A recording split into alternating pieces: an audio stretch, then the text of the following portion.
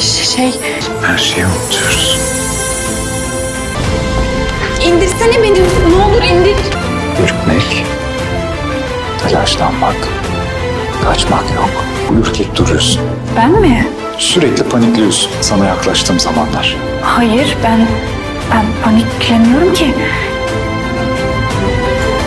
Esaret dizisi yeni bölümde, Afife Neva'nın gerçek yüzünü görmüş olsa da, bildiklerinden dolayı konuşması şu an için mümkün olmayacak, yine de her şeye rağmen Afife boş durmayacak, bakalım Neva'dan kurtulmak için nasıl bir plan hazırlayacak, hep birlikte bekleyip göreceğiz.